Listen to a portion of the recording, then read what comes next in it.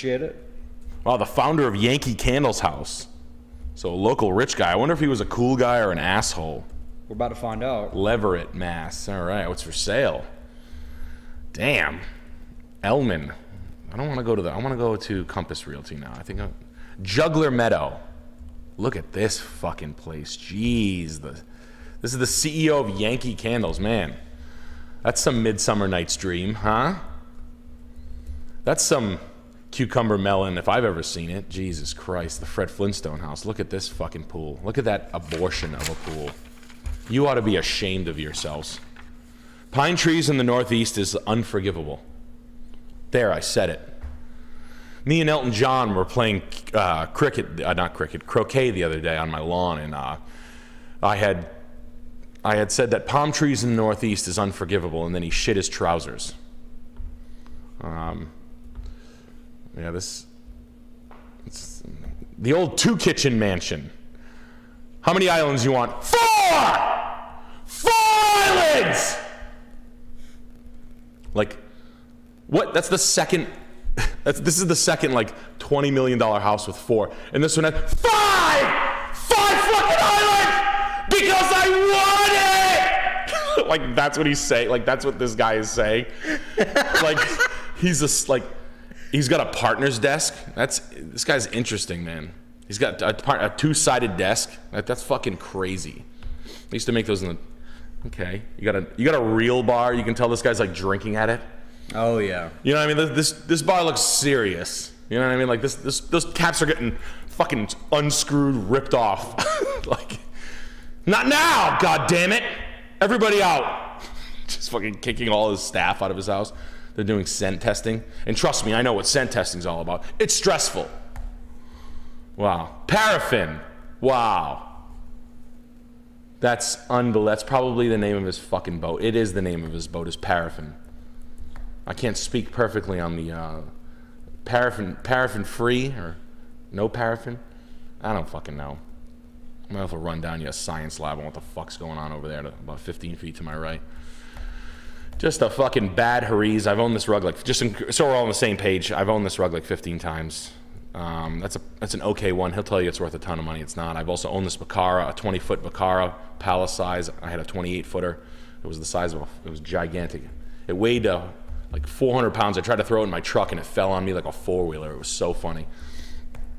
This is probably the fanciest fucking house though I've ever seen. I mean, this guy, this has it all, and every little like accoutrement, little like clip-on, add-on, dickhead, rich guy thing that this has is like, like that's a restaurant fucking fridge. Like, look at that fucking kitchen, dude.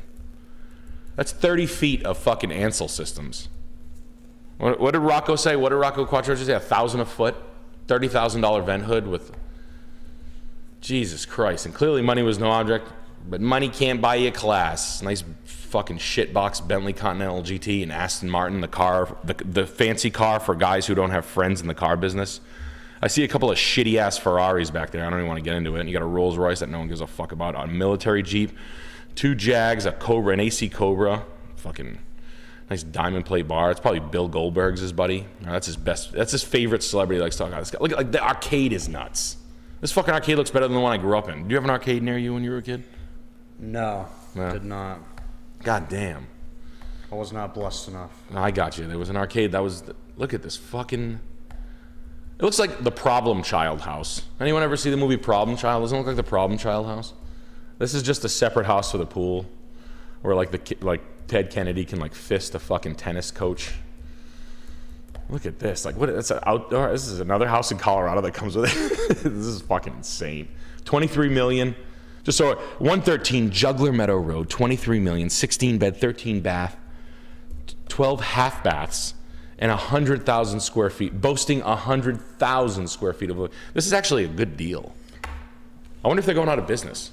And ladies and gentlemen, due to high intensity of chats, we are now closed. Oh, oh, if you got it, oh, hell if you got We're it written down, if you if you sent it, I'm writing it down. So we're gonna get to you guys. We're gonna we're gonna get to the mall. We're gonna we're gonna reopen it in probably three minutes. Just hang on. Don't worry. Um, I need. I'm I'm actually actively looking at the. Um, I don't know if I told you this, guys. I'm actually looking at the CEO of of Yankee Candles personal house that's for sale for 23. No, that house is. Um, there's a lot of bad finishes, but it's not all bad. It's it's super New England yuppie. Like it's it's like It's the Kennedy adjacent house. Um, and I don't know. This it's funny. It's it's honest.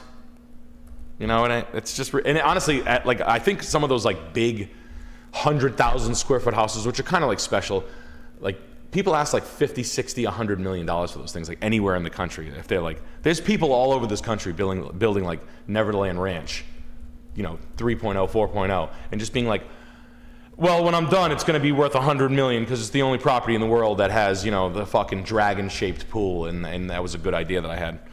Um, anyway, moving on. 28 Michael Street, Skowhegan, Maine. Uh, thank you for sending that, by the way. Very good house. Very perfect. Um, it's nice. Don't get me wrong. The house is actually really nice. Just, you, you saw it, right? Like we all saw it.